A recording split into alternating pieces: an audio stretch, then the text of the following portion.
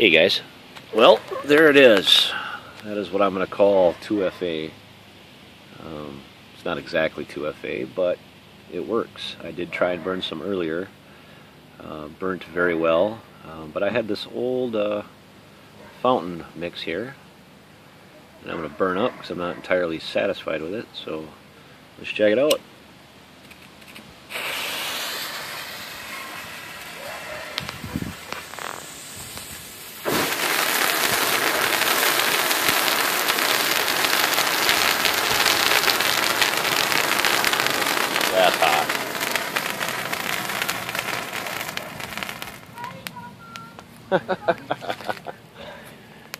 yeah, here we go. All that molten crap. Alright, so I'll show you the board from before.